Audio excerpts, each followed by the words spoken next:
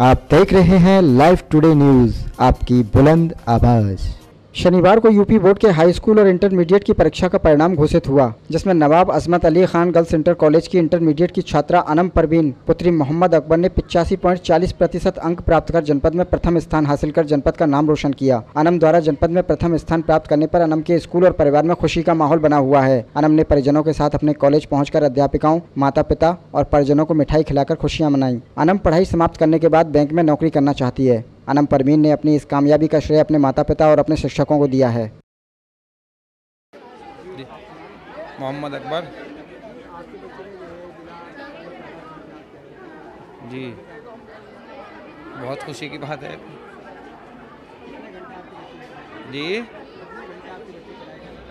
बच्चे जो है, रात पे बच्चों को तो एक बज है जी। सुबह सुबह छः बजे उठ जहाँ पाँच बजे उठ जहाँ बच्चे। अजमत।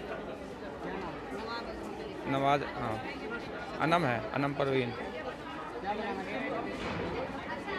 अभी डिसाइड करेंगे जी। डिसाइड करेंगे, अभी करें नहीं।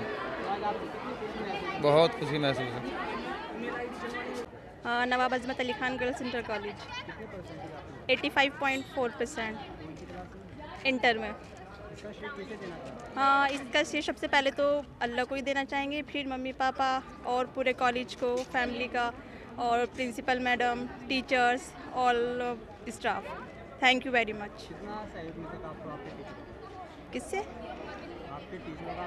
पूरा सपोर्ट मिलता था जो पूछना है वो पूछते हैं सारी प्रॉब्लम सॉल्व कर देते हैं माशाल्लाह से।